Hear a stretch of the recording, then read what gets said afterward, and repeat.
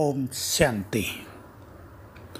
हमें एकांत में रहकर, अंतर्मुक्ता की गुफा में बैठकर, परमात्म रस लेने के लिए, अतीन्द्रिय सुखों में रमन करने के लिए, अपने को एकाग्र चित्त बनाना है। एकांत, एक परमात्मा के अंत तक पहुँचना उसके अंत में रहना, उसके प्यार में मगन रहना, उसके स्वरूप पर बुद्धि को स्थिर कर देना, आत्मिक चिंतन में मगन हो जाना, आत्मिक स्वरूप हमें क्लियर दिखाई दे, ये सब एकांत में होगा, इसको एकाग्रता से और अच्छी हम वृद्धि को प्राप्त करा सकते हैं। एकाग्रता परम आवश्यक है।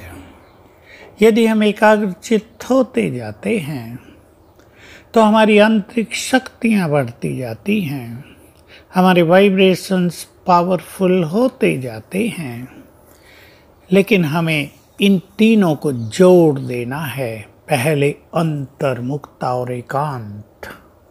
एकांत में रहकर ज्ञान का अच्छा चिंतन करें। बाबा से रूरिहान करें, अपने से बातें करें, जीवन के लक्ष्य के बारे में चिंतन करें। भगवान आया है, उससे मुझे क्या क्या प्राप्त करना है? इस पर गहन चिंतन हो। उसने हमें क्या क्या स्वमान दिए हैं? उनको हम स्वीकार करें, उनका अभ्यास हो तो उनकी दिव्य अनुभूति रहेंगी। और ये एकांत स्तर है। आत्मा के लिए वरदान बन जाएगा। तब हम एकाग्र चित्त होकर परमात्म स्वरूप पर लंबा समय तक स्थिर रह सकेंगे। एकाग्रता की फाइनल परिभाषा बाबा ने ये दी है, मन बुद्धि को जब चाहें, जिस स्वरूप पर चाहें और जितना समय चाहें स्थिर कर सकें। मन भटके नहीं। पाँच मिनट करना है तो पाँच मिनट, दस मिनट करना है तो दस मिनट। हमारा मन तनिक भी भटके नहीं, इसको फाइनल एकाग्रता कहते हैं। तो इसके लिए हमें प्रैक्टिस भी बहुत अच्छी करनी है, लेकिन अंतर्मुक्ता की बहुत अच्छी प्रैक्टिस रखनी है। या अंतर्मुक्ता सिंपली ज़्यादा न बोलना। क्योंकि जिनकी शक्तियाँ ज़्यादा बोलने में, व्यर्थ देखने में, व्यर्थ सुनने में नष्ट हो जाती हैं, उनको ज्ञान का चिंतन चलता ही नहीं। वे हमेशा शिकायत करेंगे, हम चिंतन नहीं कर सकते, क्योंकि व्यर्थ चिंतन उनकी सारी शक्तियों को खा जाता है। तो अंतर्मुखता परम आवश्यक है, इसलिए मौन का बहुत ज़्यादा महत्व रहा। आप कुछ कुछ समय मौन रख सकते हैं, जैसा आप चाहें।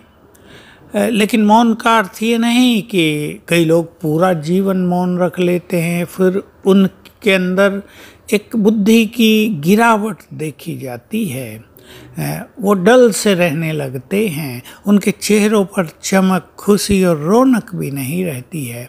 इसकी आवश्यकता नहीं है तो हट क्रिया हो जाती है, लेकिन थोड़ा थोड़ा मौन रख कर एकाग्रता की प्रैक्टिस करते रहें। और इस प्रैक्टिस में एक सिंपल प्रैक्टिस हम आपके सामने रख रहे हैं।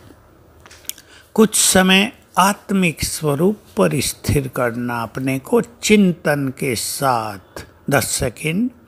फिर दस सेकेंड परमात्म स्वरूप पर स्थिर करना। विद थिंकिंग अच्छा चिंतन। फिर तीसरा अपने फरिश्ते स्वरूप पर एकाग्र करना। वही दस सेकेंड बहुत अच्छे चिंतन के साथ।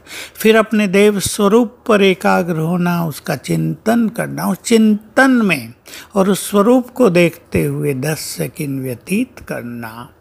ये चार बातें हो गई बहुत सुंदर। इनको क्रम से करते रहेंगे। एकाग्रता बढ़ेगी, लेकिन ये सत्य है।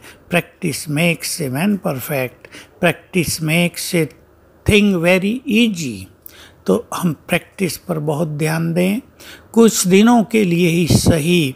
दस दस मिनट का समय पंद्रह पंद्रह मिनट का समय निकाल कर एकांत में ये प्रैक्टिस करें तो हमारी एकाग्रता भी बहुत बढ़ जाएगी। और एकाग्रता का जब सुख मिलेगा तो ये भाई ये सुख ये बोलने का सुख, ये देखने का सुख सब स्वतः ही समाप्त हो जाएगा। ओम शांति।